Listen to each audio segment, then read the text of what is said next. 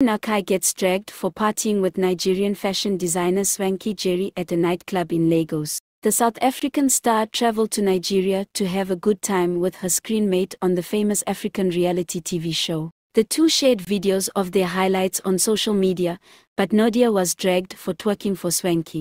While some defended Nadia, others joined in dragging her. Nadia was also reminded of her late lover, AKA who was killed in February this year.